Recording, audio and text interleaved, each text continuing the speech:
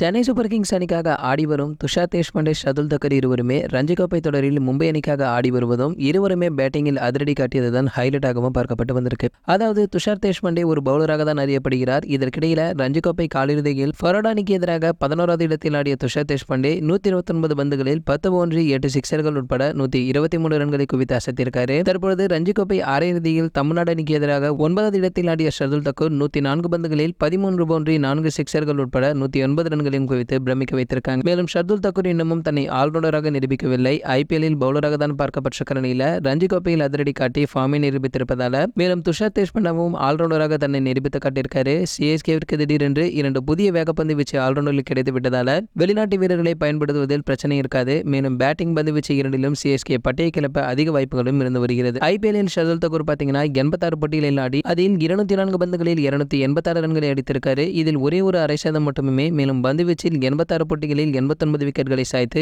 எக்கானமியில் ஒன்பது புள்ளி பதினாறாகவே இருந்து வந்திருக்கார். மேலும் துஷார் தேஷ்பாண்டே பார்த்தீங்கன்னா இருபத்தி மூன்று ஐபிஎல் போட்டிகளில் பதிமூன்று பந்துகளை எதிர்கொண்டு இருபத்தோரு ரன்களை அடித்துள்ளார். இருபத்தி மூன்று போட்டிகளில் இருபத்தைந்து விக்கெட்களை அடித்து இவருடைய எக்கானமி பத்து புள்ளி பதிமூன்றாக உள்ளது என்பதும் குறிப்பிடத்தக்கது. சரி ஓகே. இது போன்ற கிரிக்கெட் பற்றி வெளியாகும் அனைத்து செய்திகளை நீங்க உடனே தெரிஞ்சுக்க. நம்மளுடைய கிரிக்கெட் நியூஸ் அப்டேட் நம்ம சேனலை சப்ஸ்கிரைப் பண்ணிக்கங்க. பக்கத்தில் உள்ள பெல்லைக்கான கிளிக் பண்ணிட்டீங்கன்னா நீங்க நம்ம வீடியோவை மிஸ் பண்ணாம பார்க்கலாம்.